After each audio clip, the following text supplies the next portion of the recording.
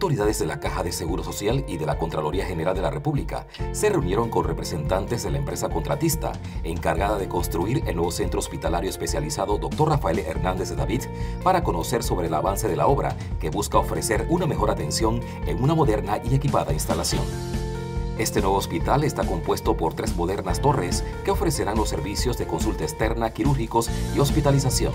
Será el único en Centroamérica por el nivel de atención que brindará, el cual tendrá capacidad para más de 300 camas, contará con 12 quirófanos y su cuarto de urgencias será seis veces superior al actual y atenderá poblaciones de Bocas del Toro, Veraguas, las comarcas y zona sur de Costa Rica. Sí a la salud, Caja de Seguro Social.